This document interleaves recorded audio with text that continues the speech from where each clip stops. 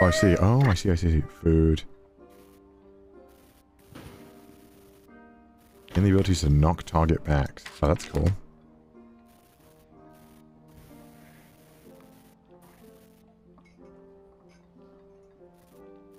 All right, What a, what a thrill. I'm ready. I want you to take a look at something. Okay, what am I taking a look at? Check this out. Bring me my food, Persian.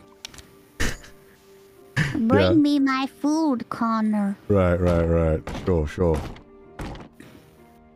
Okay, Oh, okay. another tidbit about the game.